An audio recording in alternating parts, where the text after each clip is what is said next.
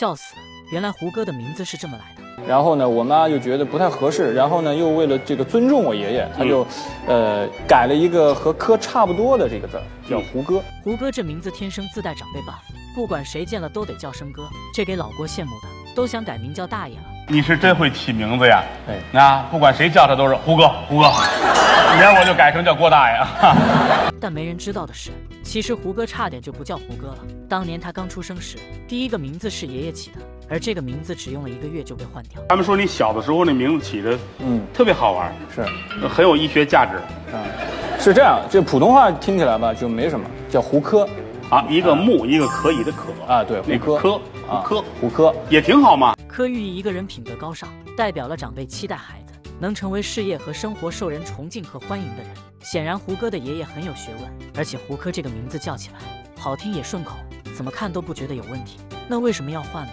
这就牵扯到方言这块了。可能很多人发现自己的名字用普通话念起来很好听，但如果用方言，意思就有些微妙了。尤其全国各地方言多种多样，一个名字用不同的方言叫出来，可能意思都不相同。而胡科这个名字就是中了方言的毒。胡歌的祖籍是上海，从小就跟家里人说方言，大家叫他名字时肯定也用方言。而胡歌用上海话说的话就是五扑，就是妇科，对，在上海话里和妇科是同一个发音。相信上海朋友听到这个名字已经笑出了声，这就跟上海人很少有人叫陈金平一样，用方言念出来，再直译成普通话就是神经病。胡歌妈妈跟你们心情一样，觉得这名字实在不太文雅，尤其是个男孩子，又不做妇科大夫，好好的叫什么妇科呢？所以胡科这名只用了一个月就改了。而胡歌妈妈为了尊重爷爷，就换了个与科相近的歌。不得不说，这个名字起得相当成功，直接让胡歌占了几十年的便宜。同样被名字误会的还有国际巨星成龙。很多人知道成龙原名陈港生，可为什么他儿子姓房呢？事实上，成龙的祖籍是安徽芜湖，原本就姓房。他的父亲叫房道龙，在抗日战争打响前，他们一直生活的南京，后来又搬去台湾、香港、澳洲等地。由于房道龙身份比较敏感，便改名为陈志平。所以成龙出生后就跟着一起姓陈了。直到许多年以后，成龙才知道自己的真实身世，于是回到安徽认祖归宗。而按照老家的族谱，他的名字应该叫房世龙，因此房祖名出生后就跟随祖姓了。这可能是刘德华最愧疚的一次，因为一个名字竟将七旬老人告上法庭。一直下来都很想知道到底刘德华板鸭是什么东西，但是一一直下来没机会看到，也没机会知道。二零一零年，刘德华起诉了一家板鸭店的老板，声称他侵犯了自己的名誉权，要求对方撤下店铺招牌并注销商标。无良商家冒用明星名声开店的情况一直屡见不鲜，所以人们认为这起案件肯定很快就会落下帷幕。然而没过多久，事情的发展却来了个两极反转。刘德华不仅撤销起诉，还亲自公开向老板道歉，这究竟是怎么回事呢？其实事情的起因全部源于刘德华一个好事的粉丝。当时有个小伙去四川旅游，路过某地时发现有家板鸭店，名字叫刘德华板鸭。小伙当时很猛，琢磨着刘德华远在香港，怎么会跑这开家板鸭店呢？在好奇心的驱使下，小伙走进店内一探究竟。后来他才发现，这家店虽然挂着刘德华的名字，但跟刘德华毫无关系，就连招牌上的照片也只是一个老头。小伙见店里生意很火爆，不由得生起气来。他认为老板这是故意打着刘德华的名号招摇撞骗，于是立即拍照取证，并写了封信寄给刘德华的经纪公司。刘德华知道这事后非常气愤。自从他出道以来，几十年间接到过无数代言和广告，但他为了形象全都选择拒绝，只把精力放在主持工作上。没想到如今一家小小的饭馆，竟光明正大的用上他的名字，简直就是太岁头上动土。为了制止这种不良行为，刘德华第一时间联系了法院。几天之后，远在四川的刘大爷收到了一封厚厚的信件，看到律师函上的警告后，刘大爷简直一头雾水。他怎么也想不到，自己遵纪守法了一辈子，怎么还跟大明星产生纠纷了呢？这件事传开后，很快引起各行各界的广泛关注。有人说刘德华大题小做，也有人说刘大爷不道德。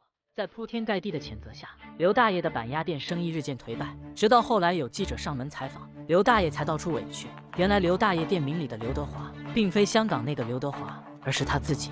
没错，刘大爷本名也叫刘德华，他如今已经七十多岁。他出生起这名的时候，刘德华还不知道在哪里。至于板鸭店的名字，他已经用了三十多年，并且在儿女的帮助下，早就注册了商标，拥有全套合法的手续。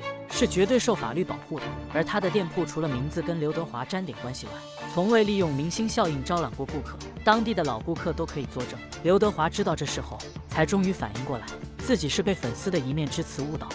好在一切不算晚。刘德华撤诉之后，不但公开向刘大爷道歉，还借机给板鸭店做了波宣传。经过一段时间的缓冲后，刘大爷的生意逐渐恢复正常。小贱贱，小贱贱。I'm sorry, was that, did she say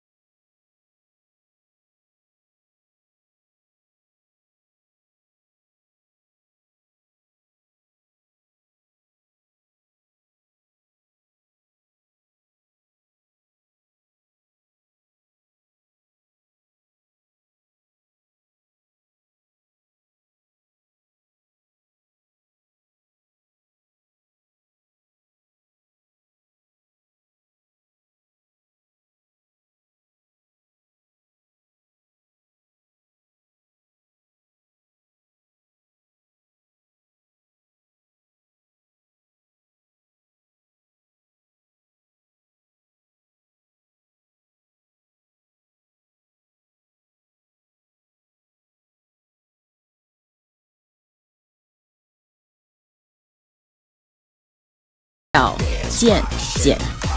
I'm sorry, was that, did she say little bitchy bitch?